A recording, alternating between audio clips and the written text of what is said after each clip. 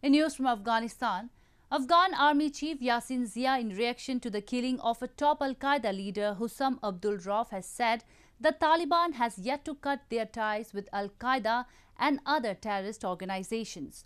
Earlier, Afghan government had accused the Taliban of still keeping close ties with the Islamic State group.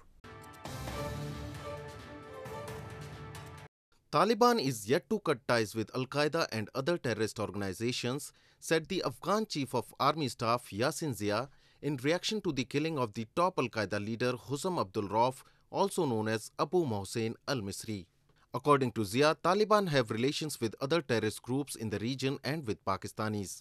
Afghanistan's intelligence agency, the National Directorate of Security, has confirmed that al Misri, wanted by the US, was killed in Ghazni province.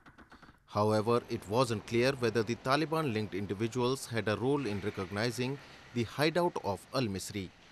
This comes on the back of Russian President Vladimir Putin in an interview to a media outlet saying that the continued presence of the US in Afghanistan is beneficial. Meanwhile, amid delayed talks in Doha, four members of the negotiating team of the Islamic Republic of Afghanistan have returned home for personal matters, according to Tolo News. Since September 12, the negotiating teams failed to agree on ground rules that will lead to the main negotiation over peace and stability in Afghanistan. The two sides have held over 10 meetings at the contact groups level over the last 40 days but have not reached an agreement on the disputed points.